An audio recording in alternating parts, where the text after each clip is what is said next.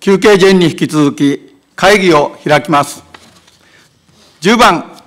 池田明子議員。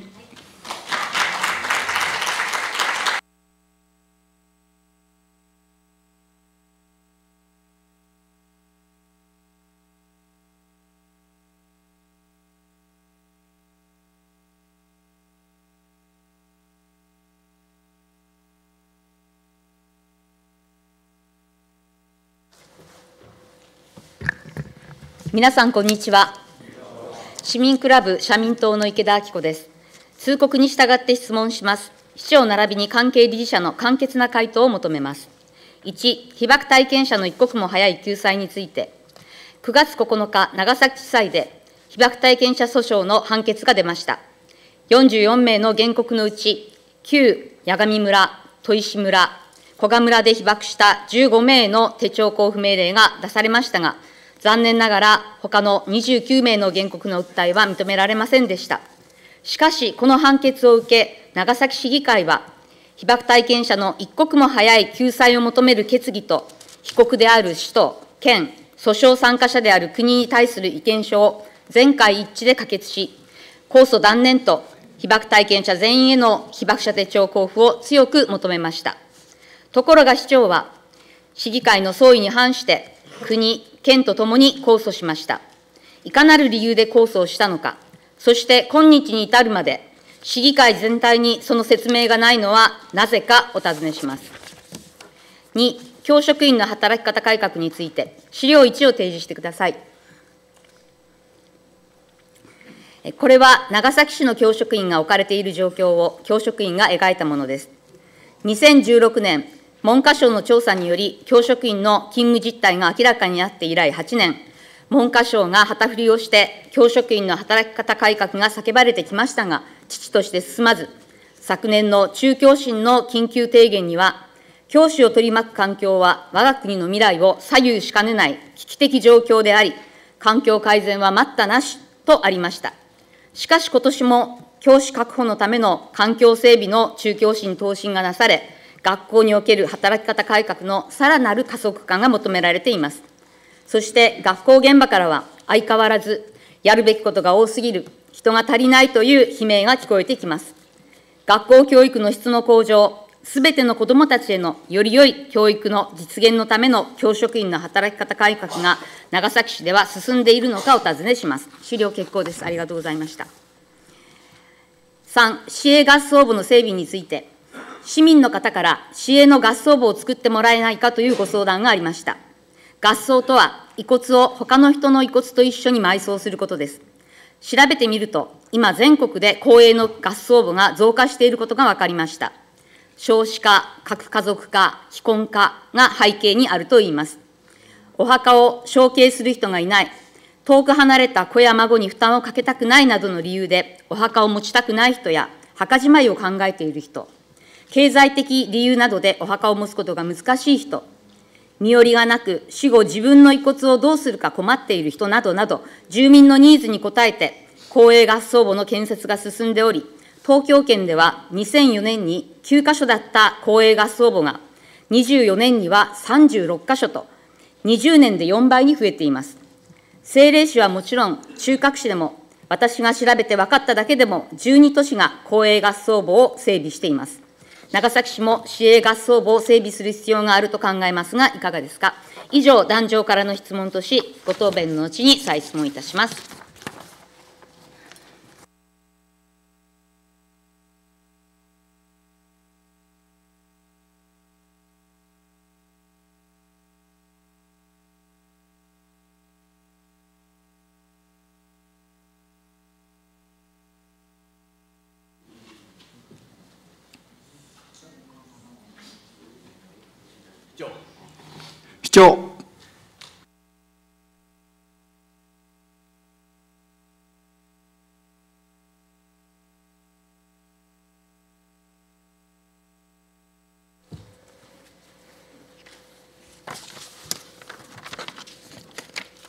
市民クラブ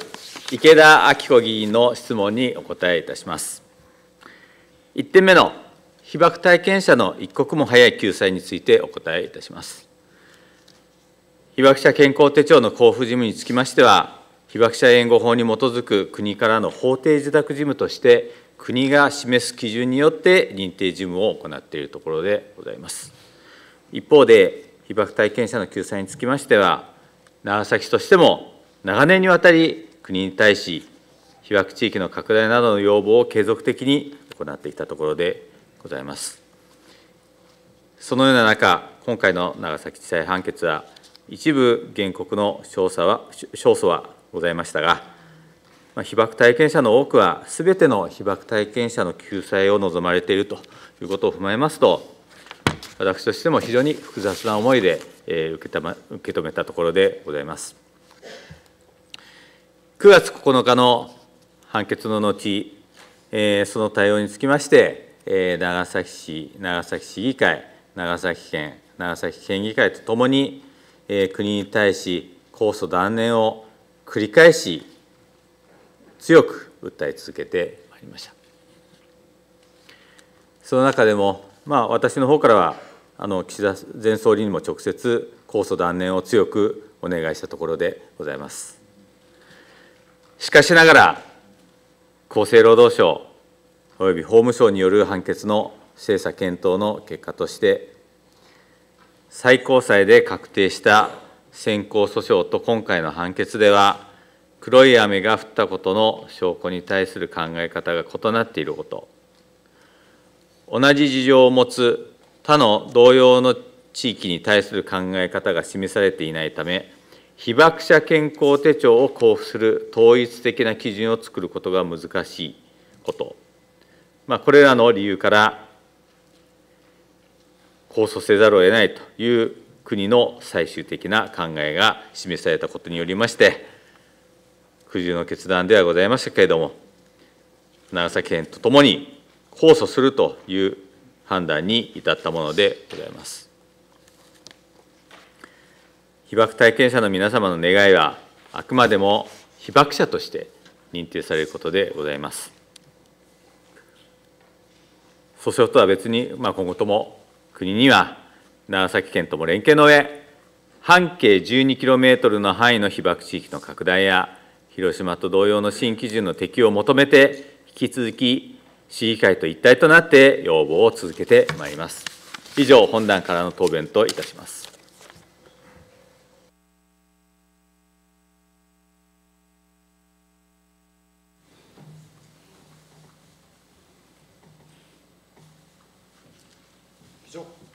教育長。ご質問の2点目。教職員の働き方改革についてお答えいたします。長崎市における教職員の働き方改革に向けた具体的取り組みといたしましては、教職員の出退勤時間を、時刻を客観的に把握するカードリーダーの設置、統合型公務支援システムの導入、留守番電話の設置など、教職員の業務の縮減へつながる取り組みを進めてまいりました。さらに今後は、令和7年4月からの学校徴収金の口座振替の一元化のためのシステムの導入に向けた準備を進めるとともに、管理職による会場正常の負担の軽減に向けた仕組みづくりについても検討しているところでございます。教職員を補助する職員の配置につきましては、これまで学校の必要に応じ、特別支援教育支援員、学校サポーター、学校相談員、スクールソーシャルワーカー、ICT 支援員等を配置してまいりましたが、加えて令和6年度からは、長崎市内の大規模校のうち、小中学校各3校に、教職員の業務の補助等を行うスクールサポートスタッフを配置したほか、不登校児童生徒に対する登校等の支援を行うため、校内別室支援員を現時点で小中学校53校に103名を配置しており、さらに今後の拡充に向けた検討を進めているところでございます。長崎市独自で進めてまいりました教職員を補助するこれらの職員の配置は、配慮を必要とする児童・生徒への対応や、教員が必ずしも行わなくてよい業務等の削減に資するなど、教職員の業務負担軽減につながっているものと考えております。超過勤務の状況といたしましては、月40時間を45時間を超えた教職員数は、小学校では令和元年度の2725人が、令和5年度は1672人となり、1053人、38.6%の減少をしており、中学校では令和元年度の2906人が、令和5年度には1969人となり、937人、32.2%減少しております。働き方改革は一定進んでいるものと認識しているところでございます。今後とも児童・生徒の指導、支援を充実させる時間を生み出し、教職員が心身ともに健康な状態で本来業務に注力できることを目指し、引き続き働き方改革に向けた取り組みを進めてまいります。以上でございます。内務部長。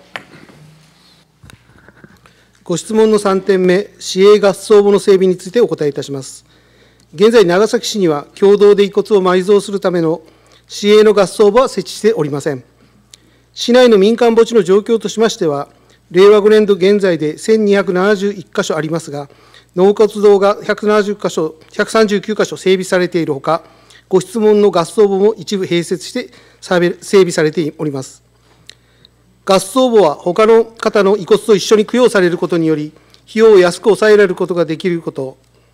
お墓を継承する方がいなくても供養できることなどメリットがある一方で、他の方の遺骨と同じお墓に埋葬されてしまうことから、後にその後に個人の遺骨を取り取り出すことができないというメリットもデメリットもございます。そのような中、合葬墓につきましては、議員が先ほどご紹介していただきましたとおり、近年の少子高齢化、核家族化の進行に伴うお墓の後継者問題や、費用面においてお墓を持てない方などに対応するため、全国的に増加傾向にあります。現在、長崎市に市に対しての合葬墓の設置に関するご要望は把握しておりませんが、墓地の維持管理ができない、後継ぎがいない、無縁墓などの課題が今後ますます増加することが見込まれますか見込まれることから、このような課題に対応するため、合葬墓設置の必要性が高まってくるものと考えております。しかしながら、合葬墓の整備にあたりましては、他都市において多額の費用を要している事例もあることなどから、多額今後の財政状況を踏まえつつ、課題解決のために合葬墓の在り方につきましては、市民のお墓の管理にかかる考え方や課題などの現状につきまして把握に努めるとともに、他都市の状況等を参考にしながら研究してまいりたいと考えております。以上でございます。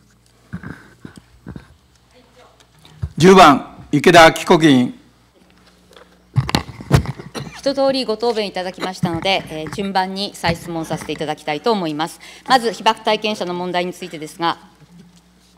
え市議会は全会一致で決議と意見書を出しました。えその市議会全体に対して、今まで報告も説明もありませんでした。市長は先日の本会議冒頭の行政報告で、海外出張と松山陸上競技場について説明をされましたけれども、なぜその時一緒に説明がなかったのでしょうか。市議会の総意に反して控訴したこと、そして被爆体験者問題は、それらのことよりも軽微なことなのでしょうか。議会軽視であり、何より被爆体験者問題の軽視ではないかと思いますが、いかがですか？柴原副市長。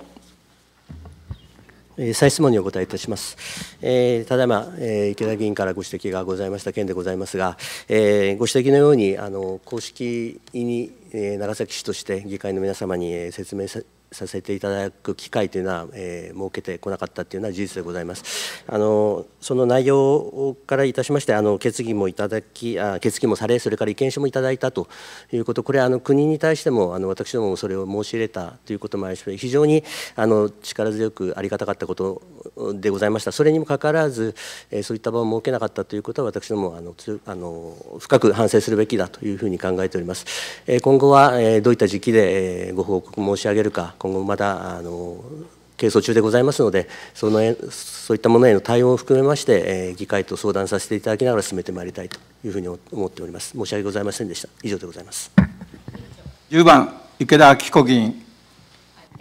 よろしくお願いします。で次にお尋ねしたいのは、えー手ばえー、手帳交付を認められた15名の方の、えー、生活、生存の、えー、現状や思いをどの程度把握しておられるかということです。それを知った上で控訴審を戦わせようとされているんでしょうか、お尋ねします。被爆、原爆被爆対策部、援護課長。再質問にお答えいたします。えっと、日頃からですね、あの被爆体験者の方、15名の方のですねあの体調の面とかですねあの伺っておりましてきついっていうのは、えーと、分かっております。ただ我々もですねあの被爆者援護法法定受託事務に基づいて、えー、手帳の交付をしていることからですねあの先行訴訟での、えーと、最高裁の判決に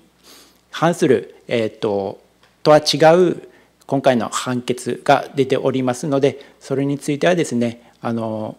国にも先ほど市長から答弁があったようにですね、え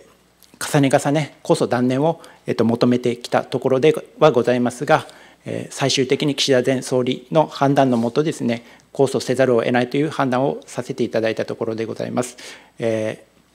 ー、体調であったりですねもう85平均年齢85を超えるですねあの被爆体験者の方々にはですね本当に申し訳なく思っておりますが、えーと、法令に基づいて、えー、手帳の交付をするためにですねあの控訴をさせていただいたと考えております以上でございます10番池田明子議員えっと、今回、えー、勝訴判決を受けた15名の方のうち、すでに2名はお亡くなりになっています。えー、認知症なので、などで話ができない、で、一人で外出することができない方が4名いらっしゃいます。がんを患って判決、翌日に入院された方も1名います。つまり裁判を続けていくことが難しい方が半数います。15名のうち、今回お話を聞くことができた方の思いをちょっと伝えたいと思います。悔しくて眠れない。15名は手帳が交付されると思っていた。首都圏が控訴するのが早くてたまらない。脳梗塞を患っている。交際は長引くのでつらい。20年近く争ってやっと勝ち取ったのに、市長がすみませんと言っていたのを見たが、それで済む話じゃない。首都圏が被告じゃないか。国の言いなりだ、裏切られた。今回も私たちの立場に立ってくれなかった。病気で食べ物を受け付けず体重が10キロも落ちた。市長が申し訳ないとおっしゃった。しかし、30代、40代なら次を考えようということになるが、私たちはあと数年しか生きられない。85歳だ。体験者とではなく被爆者として死んでいきたい。もう身も心も疲れた。死んでしまうのを待っているとしか思えない。控訴審の間にまた一人、また一人と亡くなっていくと思うと悔しい。腹いっぱい、胸いっぱい、ただただ悔しい、悲しい、ひどい仕打ちだ。あちこちに病気が出ている。片足棺桶に突っ込んでいる状態で手帳がもらえなくなるとは。広島高裁が出たときは、これで自分たちも認められると喜んだ。これで解決すると思っていたのに、長崎市は何もしていたのか。被団協のの被爆者はノーベル賞を受賞してニコニコしている。誇らしげな顔が連日テレビで報道されているが、私たちは影に追いやられて被爆者とも認められない。同じ被爆者なのに、何という格差かと思う。やっと手帳を交付されると思っていたのに、控訴されて。本当は一緒に喜びたいが、自分たちの置かれた状況を考えると素直に喜べない。高裁で負けたらどうなるのか、裁判は嫌だ、いい加減にしてほしい。こういうですね、15名の方々の思い、状況を聞かれて、市長はどう思われますか？はい、市長。えー、再質問にお答えいたします。えー、私もですね直接あの被爆体験者の皆様とこれまでもお話をさせていただき、えー、皆様方の切実な思い心からの叫びあの受け止めてまいりました、えー、そういう中でですね今回本当にあの控訴せざるを得なかったこと本当も苦渋の決断でございましたがあの、まあ、こういう結果になったこと、まあ、大変あの残念でございますしまたあの、まあ、そういう意味では、えー、被爆体験者の皆様方、まあ、特にその15名の方々にあの申し訳なく思っております。まあ、しかしながらあの先ほど申し上げました通りですね、えーまあ、国の方でですね、えー、最終的に、えー、控訴せざるを得ないというえー、判断が、えー、なされたわけでございます。えーまあ、先ほどあのその判断の理由はもう申し上げた通りでございます。でこれ仮にですねこの、まあ、市単独でですねその、まあ、控訴をそのしないということをしたとしてもですね、これあの、結局その統一的な基準がないという中でですね、国はあの基準を作ることができないと。であの法定受託事務のもとですねあの基準に基づいて行政を行わなければならないという制約がございます。でそういう中でですねあの我々はあの仮に控訴したとしても被爆者の皆様に被爆体験者の皆様に手帳を交付することが困難であるということから我々としてあの、えーえー、控訴、えー、断念えー、ということについてですねあの国が、えー、それがあのそれをそうすることができないと控訴するという判断をした以上ですね、えー、長崎市としても、えー、その国の判断に従ったところでございます。えー、重ね重ねあのご理解いただければと思います。よろしくお願いします。10番池田明子議員。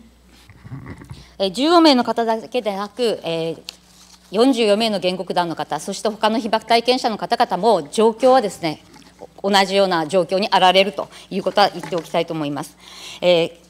先ほどのご答弁で、えー、控訴理由の答弁のご答弁の中に、手帳交付の統一基準が作れなかつけれないからというふうなことを、まあ、市長も今おっしゃったわけですけれども、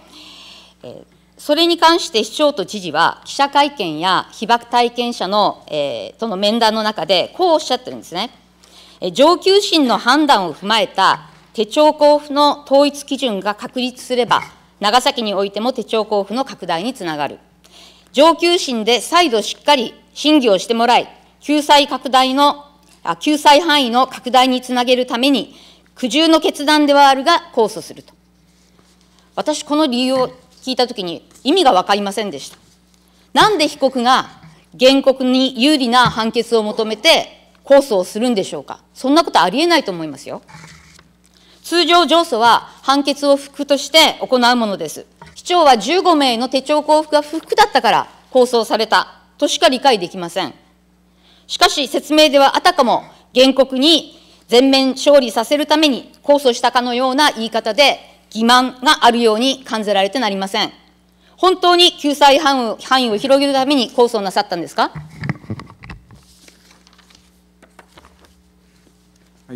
原爆被爆対策部、援護課長。再質問にお答えいたします。長崎市といたしましては、被爆者の思いを、えー、国に伝え、救済を求める立場であります。一方で、先ほどから、えーと、ご答弁差し上げていますとおり、国国が定めた、えーと、法定受託事務、えー、処理基準に基づいて、えー、手帳の交付を運用する立場でございます。繰り返しの、えー、答弁で申し訳ございませんが、ご理解いただければと思います。以上でございます。10番、池田明子議員。私はですね、法定受託事務云々ということではなくて、えー、統一した基準ということについて、市長がと知事が言われてるんですよね。より良い判決を求めるために控訴をするって。そんなのないでしょっていうふうにお尋ねしてるんです。その質問に答えてください。市長。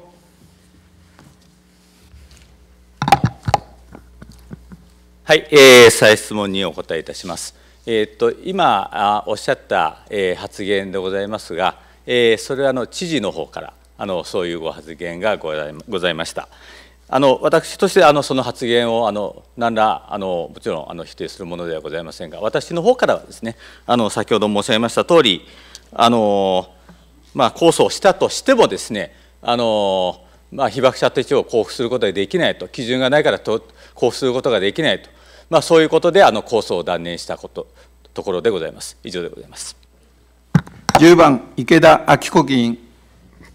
いや市長もですね定例記者会見の中でそのようなことをおっしゃられてますよ9月の末の記者会見だったと思いますけどで知事と市長の公式見解として出された中でそういうふうに、えー、控訴する理由がより良い判決を求めて控訴するというふうに言われてるわけです。もう知事と知事が言ったことだ市長が言ったことだという話ではないと思いますし市長も定例記者会見で言われてるじゃないですか。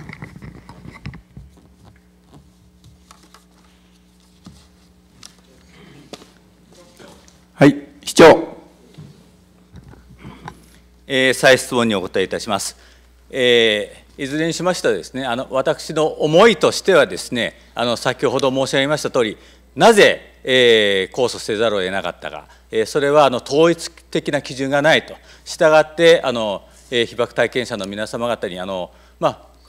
控訴をしなかったとしてもですね、えー、手帳を交付することができない、えー、そのために、えー、控訴、えー、せざるを得ないというふうに、えー、判断したものでございます。以上でございます。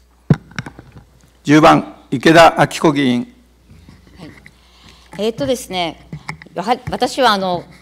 記者会見や、それから被爆体験者に対して、より良い、えー、高裁判決を求めるために控訴をしたのだというのは、私は言っちゃいけないことだったと思いますよ。だって長崎市は長崎地裁の裁判の中で何て言っているか、何を主張したしているかというと、先行訴訟で、えー、被爆者ではないという判決が出て確定したじゃないかって言ってるわけです。主張されてるわけですよ。原告の調査結果や意見書は信頼性や、えー、正確性を書くと、えー、被爆体験者の証言には手帳欲しさのバイアスがかかってるっていうのを市が主張してるわけです、裁判の中で。残留放射線は健康影響を及ぼすものではないと、つまり被爆者ではないのだということを主張されてるわけですよ。そういう裁判があって、で、今回15名のに手帳が交付されることになった。で、それを不服として市は控訴したわけです。それをね、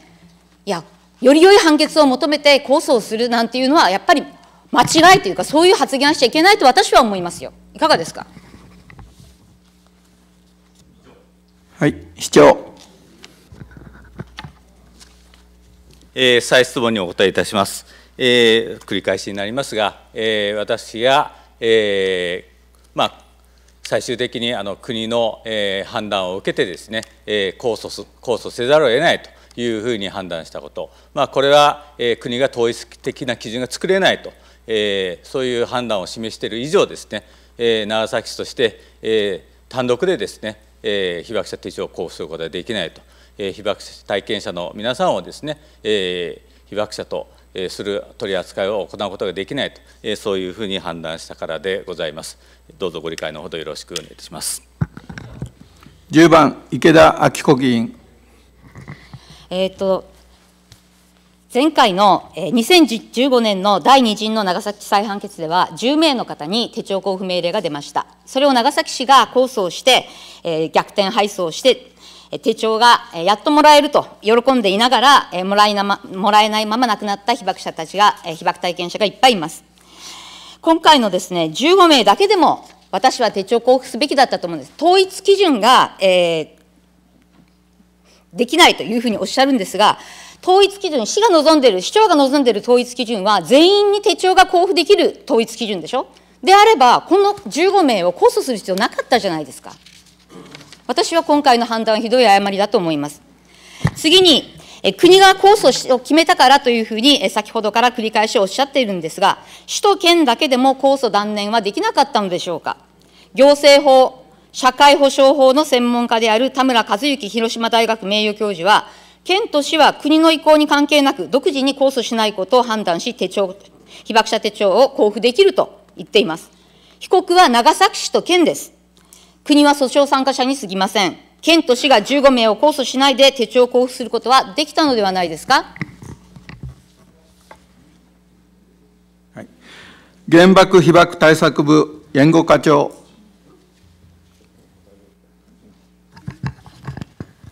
再質問にお答えいたします。被爆者健康手帳の交付につきましては、国からの先ほどの答弁、繰り返しになりますが、法定受託事務として、被爆者援護法や地方自治法に基づく、えー、統一基準、法定事務自宅、法定事務委託、受託事務にかかる統一基準に従って手帳の交付を行っております。現在のところ、被爆者、被爆体験者の皆様につきましては、この統一処理基準の中に規定されておらず、長崎市がこの、長崎市や県がこの処理基準から外れて、え独自の解釈により認定した場合、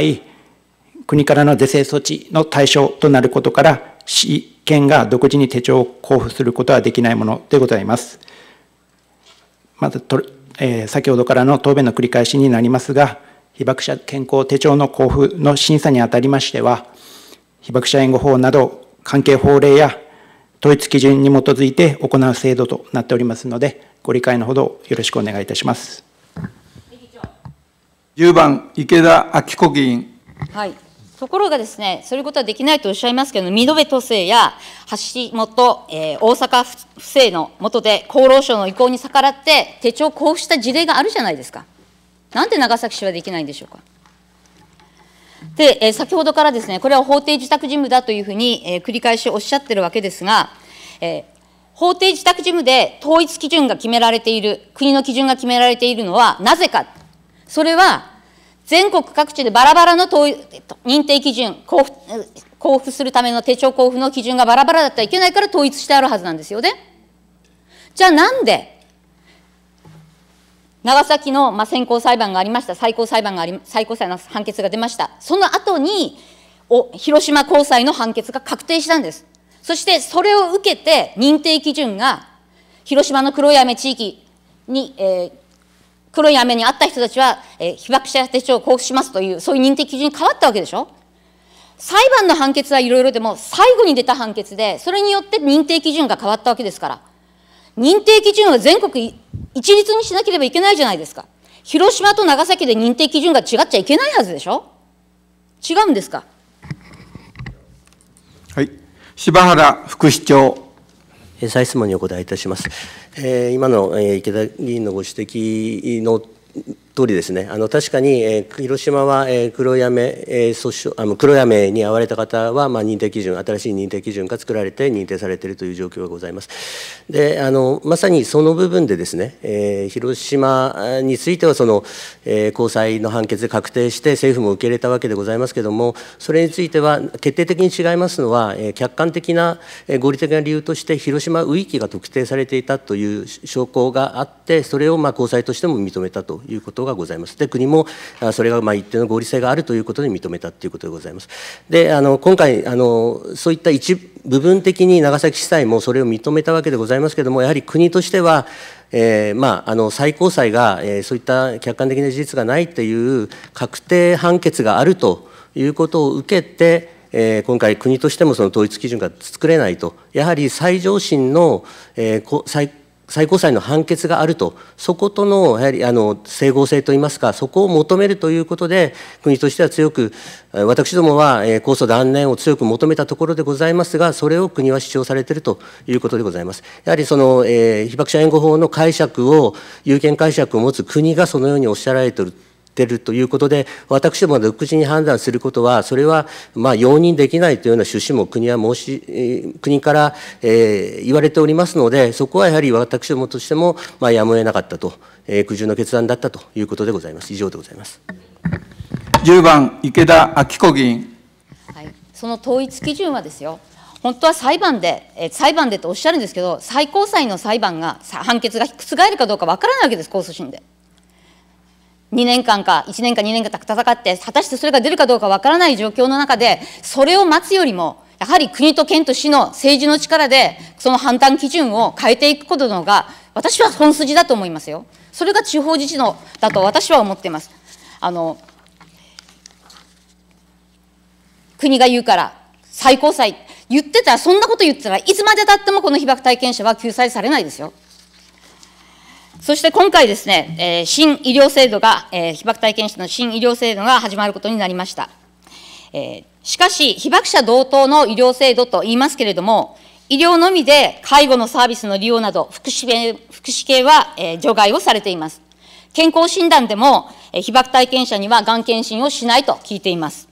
手当もありません。これで被爆者と同等と言えるんですか？原爆被爆対策部調査課長。再質問にお答えいたします。議員、ただいまおっしゃったように、介護の部分であったりとか、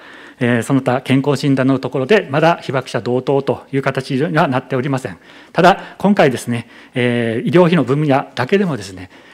高齢化する被爆体験者の健康不安に寄り添う形でですね、これまで認められなかった、え感染症であったり、え外傷であったりというところがえー、ほぼ被爆者同等と全く同じような形にですね認められたところは一歩前進の成果でなかったかと考えているところでございます。以上でございます。10番池田明子議員。先ほど体験者の現状をお伝えしましたが、皆さんが申請できるんでしょうか、これ。リーフレットの説明も非常に難しいという声が聞こえてきてます。要件の11疾病は、ほとんどの方が、えー、罹患されているということを考えると、診断を受けさせずにですよ、2種の手帳を持っている人全員にプッシュ式で交付すべきだったんじゃないですか。それがより、もちろん国がうんぬんって言うんでしょうけど、私は本当に寄り添うっていうことを言うならば、やはり私はそうすべきだったと思いますよ。被爆者として認めないけど、せめて医療費を被爆者並みにって言うんであればね、そこまでそ、そこをやっていただかなければ。皆さん診断受けに行けられる、行ける人ばかりじゃないんですよ。そこを理解していただきたいと思います。被爆体験者に寄り添うという言葉はよく聞きます。えー、しかし、被爆体験者の怒りや悲しみがどこにあるか、本当にお分かりでしょうか？被爆体験者はこれまでは被爆者ではないと言われ、原爆後遺症に苦しみながら自分は一体何者なのかと、え困惑してきました。声を上げると手帳欲しさの嘘つきだ、バイアスだ、認知に問題があると蔑まれ、疑われ、尊厳を傷つけられ続けてきました。22年前に始まった粗末な被爆体験者事業の中で、米国で理不尽な扱いを受け続けてきました。生涯をかけて核核廃絶を求め、原爆被害の告発者として生きたかったのに、証言の場すら与えられませんでした。名ばかりの被爆者並みの医療拡充では、80年間差別され続けてきた被爆体験者を苦境から救出することはできません。被爆体験者は被爆者だという承認が必要です。市長は、市長には絶対にこれで終わりにしてはいただきたくないと思います。被爆体験者は被爆者だという立場で、この問題解決に取り組んでいただけますか？市長。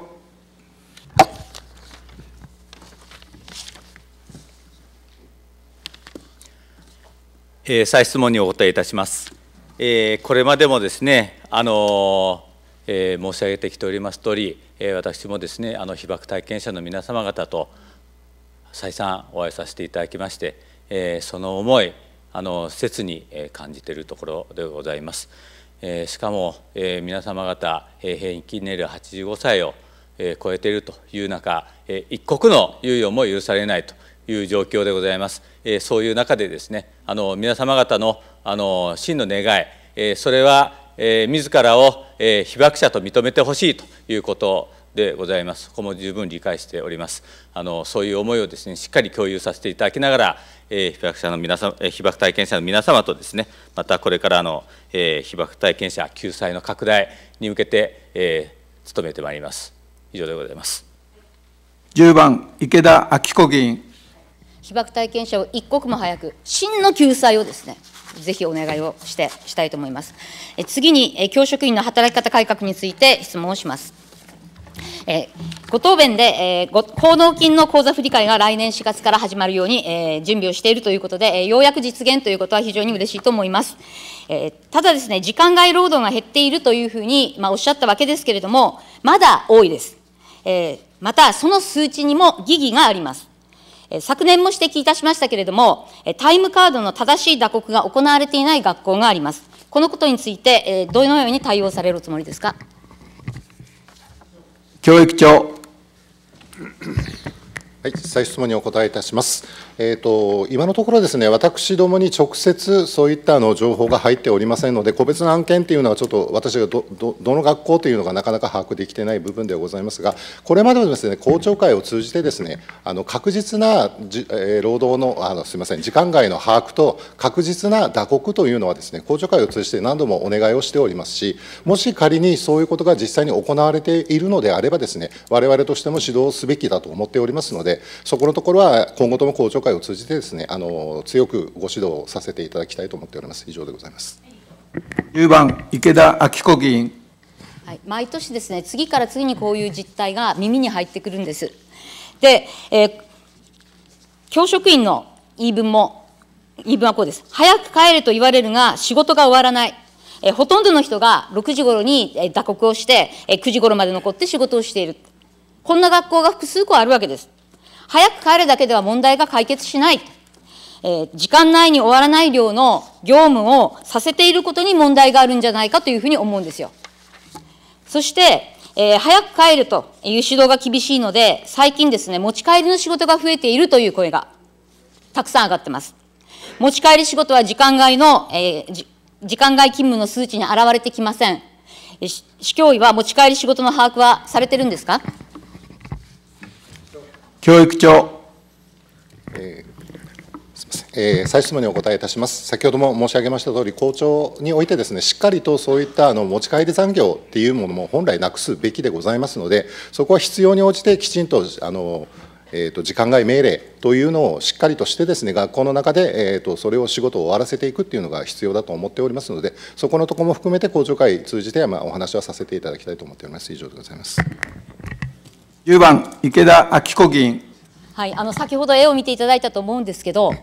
時間内に仕事が終わるだけの仕事量じゃないわけですよそこに問題があるとで、えー、昼休み休憩時間ですが、えー、児童生徒との対応とか仕事をして事実上休憩時間も取れていないのが現状です。そのことは大体ご存知ですか？これ、労基法違反だと思うんですけど。教育長。再質問にお答えいたします。えーと、その件につきましてはですね、やはりあの実際給、えーと、給食の後のあの休憩時間っていうのが取れてないあの子どもたちがやはりあの外で遊んだりいろんなことをする場合にですねしっかりと見守りをしないといけないという部分があってですね実際の教職員の方が休憩が取れてないという実態は先確かにあの耳に入っております。で、えーと、学校によってはですね、それ確かに労働基準法上あまりあのよろしくない、えー、はい、あの休憩が取れてないという実態はですね、よろしくないということは我々も把握をしておりますので、そこはですね、例えばちょっと時間をずらしたり、輪番制を取ったり、交代をしたりとかいう形でですね、できればあのその休憩時間をしっかり取っていただくようにお願いをしているところでございます。以上でございます。10番池田紀子議員。はい、今年の、え、中京新答申では、休憩時間が取れるように、子どもの見守りをする人を確保せよというふうに言っています。えこのように、え実際はですね、市教委が把握している以上に時間外労働が行われているという前提の上で、え教職員の働き方改革を加速させなければいけないのではないかというふうに思います。え精神疾患による病気や、えー、給食も相変わらず、え、多いというのが現状です。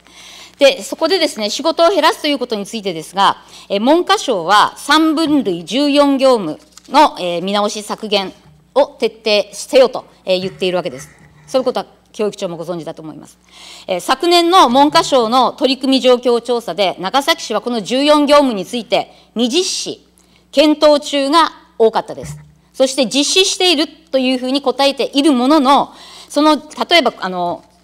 補助的業務へのスクールサポートスタッフとご答弁でもありましたけど、これは文科省は全校配置の予算を取ってるんですよね。ところが長崎市は小学校3校、中学校3校のみですよ。来年度の予算では国はこの、えー、単価を引き上げる予算を組むというふうに、えー、言っているみたいです。そして文科省はさらなるこのスクールサポートスタッフをですね、えー、配置を充実せよと言ってるんですね。長崎市これ実施って言ってますが、本当、ほんの一部しか実施してないわけです。これ全校実施をですよ。全校配置をやっていただけませんか配置された学校ではとっても効果が上がってるって、すごく助かってるっていう声が上がってますよ。来年度全校配置できませんか教育長。再質問にお答えいたします。スクールサポートスタッフにつきましては、議員ご紹介のとおりですね、えー、と現在、小学校3校、中学校3校に配置をさせていただいているところでございます。で、えー、と今後でございますが、今、予算編成の段階でございますので、あの明確な答弁はちょっと差し控えさせていただきますが、あのなかなかその財源的な面と、あと人材の確保という課題もございますので、そこについてはですね、あのまあ、各学校からですねですね、そういうすごく助かっているというお声は聞いておりますので、現在はま大規模校ということで6校を選んで配置をさせていただいておりますが、そこの拡充に向けましてもですね、現在検討を進めているところでございます。以上でございます。10番池田紀子議員。クールサポートスタッフの拡充に向けて、えー、ぜひ、えー、努力をしていただきたいと思います。そして、えー、っと14業務の中に校内清掃というのも入っています。えー、毎日の教室清掃もですが、特に学校プール清掃や管理は指定管理や民間の業務委託にを検討せよと、えー、答申が言ってるんですが、長崎市は検討しないんでしょうか？教育長。再質問にお答えいたします。あの確かにいろいろプールの清掃業務とかですね、あの学校の方でご対応いただいている部分がありますが、えーと、そこの部分はですね、相当にあのちょっとあのなかなか、えーと、職員とか生徒の皆さんのご協力で、まあ、掃除ができないような汚いって、まあ、すごく汚れているというような場合はですね、その都度あの学校の状況に応じてですね、対応はさせていただきたいと思っております。以上でございます。10番池田紀子議員。はい、プールの清掃は中学生は一応子どもたちも手伝ってくれますけど小学校はほぼほぼ教職員ですよ。その教職員の負担を軽くしていきましょう14業務ってそういうことですよね。徹底してやりましょうと。やれるものは全部やりましょうというふうに言ってるわけですからぜひ考えていただきたいと思います。それ以外のですねトイレの尿石取りとかワックスがけ等々いろんなあの通常の掃除じゃないものも、えぜひ、え検討していただければと思います。で中学校の、えーえっと、すみません、14業務の中に、支援が必要な児童生徒、家庭への対応というのがあって、長崎長崎でも、特別教育、特別支援教育支援員が、えー、配置をされています。えー、今年10名増えて150名配置をされました。しかしですね、それでも追いついていないというのが現状です。えー、支援を必要とする子どもの数は、えー、5年前と比べて1.9倍、えー、教職員、えー、支援員の、えー、支援員は1.25倍にしか増えていません。えー、ある学校で、えー、特別支援学級が3クラスあり、えー、飛び出したり暴れたりする子がいるので、支援員1名の、1名の支援員では難しいと。支援学級に1人ずつ配置をしてほしい。支援学級は343学級ありますから、そこに全部配置をする。まあ、いっぺんには無理でしょうけれども、この現場の声に応えて、えー、配置を増員することはできませんか？教育長。再質問にお答えいたします。えー、議員ご紹介のとおり、現在、えー、特別教育支援員につきましては、えー、150名の配置を行っております。まあ、特別支援教育につきましては、各教あの、まあ、クラスに、えー、1人ずつ担任を配置をしておりますが、なかなかあのおっしゃる通りですね、飛び出す子とかですね、個別に対応しないといけない子っていうのがおりますので、まあ、この支援員を配置をさせていただいているんですが、えーと、あとあの医療的なケアが必要な子がいらっしゃいますので、その子にあのその方に対してはですね看護師等の資格を持つ、え、支援を配置をさせてあ全校に必要な全校に配置をさせていただいておりますが、この支援につきましてはですねあのそこの部分できるだけ我々としてもですねあのニーズっていうのがあるっていうのはもう承知しておりますので、できるだけ対応したいと思っておりますので、え、そこは、現在、え、来年度の予算に向けて検討させていただきたいと思います。以上でございます。U 案池田明子議員。はい、よろしくお願いします。であの支援員については、最近、なり手不足というのも、えー、指摘をされています、えー、枠をもらっていたけれども、5月まで来なかったとか、1学期は来なかったという声が学校現場で、え、聞かれました。その背景には、支援員の、え、仕事は過酷なのに待遇が悪い、え、報酬に見合わない、あの管理職の先生が人には勧められないっていうんですよ。えー、せめて夏休み、保険が切れるのだけでも改善する必要があるという、えー、待遇改善の声が教職員から上がっています。また、えー、学校サポーターにしても、え、待遇が悪すぎてお願いできないという声が上がっています。1日2、3時間、え、来てもらって1000円です。交通費も出ません。え、せめて交通費の支給をお願いできないか、社会通念上に、えー、常に沿った金額にしてほしいという声に応えていただけないですか？教育長。はい、再質問にお答えいたします。えーと、ご指摘の学校サポーターにつきましてはですね、あくまでもあのボランティアというもと、ボランティアという考えのもとで、えー、と配置をさせていただいておりまして、そこにまあご協力いただいているいただける方にですね、まあ、確かにおっしゃる通り、1日1000円という形で、えー、お渡しをしていると、謝礼という形でお渡しをしておりますが、まあ、あの学校サポーターの利点とすれば、自分が空いている時間に、まあ、自分ができることを、まあ、学校の方で、まあ、お手伝いをしていただくという部分ですごく柔軟性のある仕事でございまして、そこもまあご理解の上で、えー、と今、引き受けていただいているという状況でございます。以上でございます。10番、池田紀子議員。ははい、ボランティアでも交通費くらいはね、支給していいんじゃないですか。で、実際頼めないとか来てもらえないということで、困っている学校があるわけですよ。配置できてない、その枠を使い切れてない学校もあるわけですから。やはりこの待遇面も考えていっていただきたいと思います。えー、教職員の確保について、ちょっとお尋ねしたいんですが、えー、長崎市でも産休代替が来るのが遅れた、えー、代替が見つからずに一月来なかったと。そういう声が聞かれます。しかし、教職員の配置、あ、しかもですね、教職員の配置は、市教員の仕事のはずなんですね。ところが、今、学校任せになっています。学校は人を探しながら、で、休んでいる人たちの仕事まで背負って、えー、混乱してるんですよ。大変疲弊し混乱をしています。え、ちょっと時間がもう迫ってますので、え、お答えはいいですけれども、これをですね、早期改善していただけないですか？ちゃんと市教委の方で人を探していただくように、ぜひお願いします。この対策を立てていただきたいと思います。で、最後に、えー、まあ、今、採用試験を前倒しにしたりとか、えー、教職員調整手当を引き上げようとかいうふうな話が出てますが、私は的外れだと思ってます。やはり人を増やす、仕事を減らすです。で、えー、そのためには、えー、教育委員会だけでなく、各地方自治体の長にも取り組みへの積極的な支援が求められているんですが、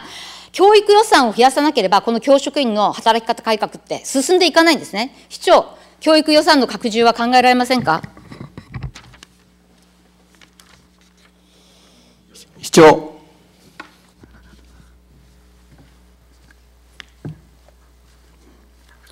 えー、再質問にお答えいたします。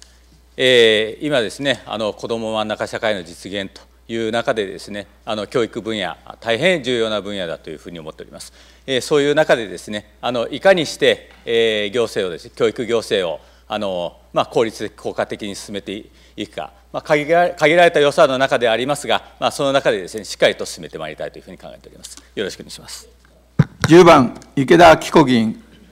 えーと、教育予算増やしていかなければ、あの教職員の仕事をですね、肩代わりしてくれるためには人がいるわけです。人を雇わなきゃいけない。だその人を雇うためにはお金は必要ですから、教育予算を増やしていかなければ、教職員の働き方改革は実現しないし、教育の質は向上しないということを申し述べておきたいと思います。では次の質問に入ります。市営合葬簿のの再質問に移ります。え中核市の5都市の、え合葬簿を見ていただきたいと思います。資料お願いします。はい、えこれは那覇市の合葬簿です。え納骨室の棚が、えあって、え1600段あります。13回忌や33回忌までは骨壺に入れた状態で預かってもらうことができます。え納骨堂の使用料は8万円から17万円です。この間は骨のお骨の返還も可能です。この期間を過ぎたら布袋に移して、えー、1万4000体埋蔵できる合葬室に移されます。えー、直接合葬室に、埋葬することもできまして、その場合は1体3万円です。生前予約も可能です。次お願いします。これは明石市の合葬墓です。ここも納骨堂があって、え、使用期間、え、使用期間は10年で11万円、20年で16万5千円です。直接合葬室に入る場合は1体4万4千円です。合葬に限り生前予約が可能だそうです。次お願いします。栃木県宇都宮市の合葬墓です。1万体ほど、え合葬、えー、埋葬できて、1体2万5千円で生前予約ができるそうです。次お願いします。えこれはいわき市、福島県いわき市の合葬墓です。納骨室もあって、20年使用で9万円だそうです。合葬室は1体4万5千円。65歳になったら生前予約ができるそうです。次お願いします。これは旭川市の学葬墓です。ここにも1万体埋葬できます。え埋葬費用は1体2万6千円だそうです。ありがとうございました。5都市だけしか、えー、紹介できませんでしたけれども、えー、この合葬墓、納骨堂があるところ、ないところ、えー、様々です。ただ、いずれもですね、供養を伴わず、宗教を問わず、埋葬料以外の年間使用料はほとんど、ほとんどのところが不要となっています。お寺や民間の霊園よりはるかに安いなどの特徴があり、希望者が多いと聞いています。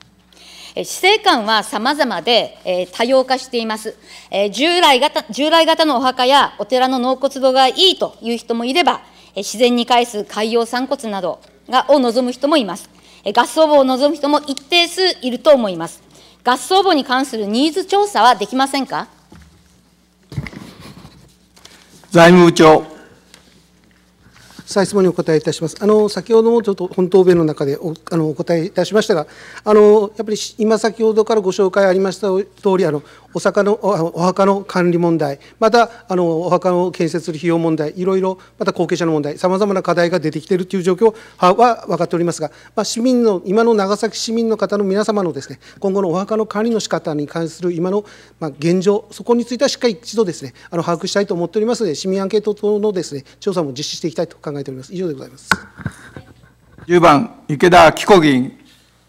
えー、まあ、そういうあの市民アンケートも必要でしょうし、あの福岡市がですね合葬墓を検討する際の、えー、に市民アンケートを取ったそうなんですが、その結果では、2010年と15年と取ってるんですけど、えー、普通のお墓を望む人が49%だったのが24%と、5年間で半減しているそうです。方や合葬墓等を望む人が7%から17%に増えているというアンケート結果だそうです。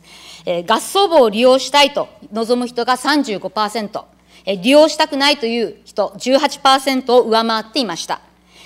利用したい理由ですが、子どもなどに迷惑をかけたくないというのが64%と最も多かったということでした。そして市が合葬墓を整備することに賛成の市民が54%いたということです。また、ご答弁にもありましたけれども、今、無縁墓の増加が社会問題化しています。えー、無縁墓となれば、行政が手間暇かけて、えー、処理しなければならないものもあるはずです。で、そういうお墓をですね、作らないためにも、市営合葬墓整備を考えていただきたいと思いますし、えー、お寺がなくなって、納骨していたおお骨をですね返還されるということも、えー、起こっていると聞いています。そういう方々のためにもですねやはり合葬市営の合葬墓というのが、えー、必要なのではないかと思います。でまあ、確かに、えー、財政の厳しいより多額の費用がかかるというふうにおっしゃいましたが、えー、見ていただいたようにですねあのまあ、そんなお金をかけなくても、えーまあ、今まで長崎市が作ってきた箱物に比べれば、えー、非常に格安ではないかというふうに思っていますが、いかがでしょう？財務部長。再質問にお答えします。あの他の、まあ、公共施設等の整備費用との、まあまあ、と比べるというのは、ちょっとあの、まあ、ちょっとどうかと思いますが、あの実際ですね、あの他都市の状況を見ますと、この合葬墓の整備費用につきましては、今、把握しているところでは、まあ、施設規模にもよりますが、まあ、数千万円単位から大きいところでは、先ほどの那覇市などは億を超える費用がやっぱりかかってまして、これにつきましては、やっぱりどうしても単独費という形になりますので、それはやっぱり財政状況についてもありますので、やっぱり今後ですね、そのニーズも踏まえるとともにですね、施設の在り方というところもしっかり合わせて検討していきたいと考えております。以上でございます。10番、池田明子議員。はいえっと、今、億を超えるとありましたけど、枚数は200億でしたかね、えー、土地代が68億でしたかね、えー、非常に高額だったと思います。で長崎には、えー、国際墓地や原爆で亡くなった無縁死没者を収めた追悼記念堂もあります。え、その時の社会状況やニーズに合わせて、え、市が墓地を整備してきた歴史があります。え新たにお墓を作るとなると、え場所が難しいのは、え大体承知をしておりますけれども、しかし見ていただいたような、え公園のような合葬墓であれば、え地域住民の理解も安いのではないかなと私は思っています。ぜひですね、ニーズ調査も含めて、え整備を検討していただきたいというふうに思います。えそしてちょっと話は飛ぶんですけれども、え午前中、火葬場の整備についてのお話も、え質問もありましたが、火葬場をまいずれ建て替えなければならないということですが、それに合わせてですね、粉骨機能をえ整備していただけないかなというふうに思っています。今、海洋散骨とか樹木葬とかが増えてきています。えまたですね、こうお骨をこう小さくして手元供養ということもあってるみたいですし、えー分骨等のニーズもあるみたいで、そういう場合ですね、粉骨をする必要があります。火葬場の建て替え、せっかく建て替えるということであれば、それに合わせてですね、この粉骨機能を持たせるということも検討していただけないかと思うんですが、いかがでしょうか？市民生活部長。再質問にお答えいたします。えご質問の火葬後の粉骨につきましては、あの全国の火葬場の状況として、あの公設の火葬場は、ちょっとそういう施設を有しているところは確認できていないんですが、え一部の民間火葬場では対応されているところあるようです。えま、ただあの、多くは民間事業者で、あの散骨と合わせてですね、えー対応されているというふうに聞き及んでおります。えーいずれにしても、あの新火葬場の整備、えー今、あ検討を進めてますので、他都市の状況とか、財政面、えー費用面、えーそういったところを情報収集に努めつつですね、えー審議会の中でもご意見をお伺いしてみたいというふうに考えております。以上でございます。10番、池田紀子議員。えっと、前例がないからということではなくてですね、えぜひえ検討していただけないかなというふうに思います。焼いてもらったところで、やはりあの海洋散骨しようと思っている方は、そこでもう粉骨していただいて、えーその一部持って帰るということが理想的ではないかなというふうに思いますので、ぜひよろしくお願いいたします。休憩いたします。午後2時10分から再開いたします。